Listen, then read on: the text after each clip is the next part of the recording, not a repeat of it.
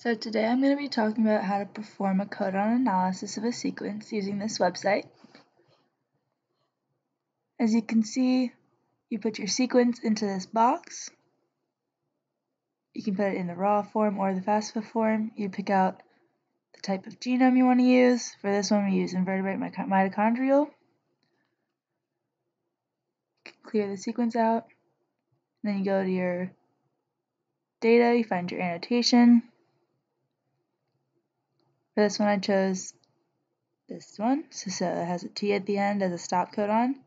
You want to make sure that if it does have a T at the end, you get rid of it because the T is an incomplete codon and it might mess up the sequence. So you just copy the whole thing, and you paste it into the box, making sure you delete that last T, and press submit with the right genetic code in there.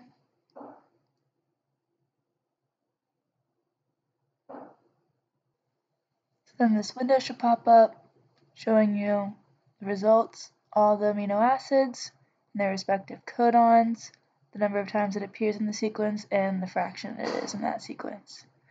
Shows this for all the different amino acids, and at the end you can see the stop codons that would be in there. As you can see there is none because it was a T.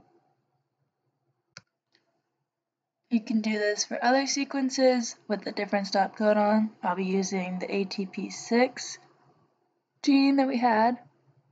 So you just go back to the sequence. As you can see, there was no T stop codon instead of TAA. Copy the whole sequence, paste it in the same box, still on invertebrate, and press submit. Again, the same table will pop up with all the amino acids, fractions, etc.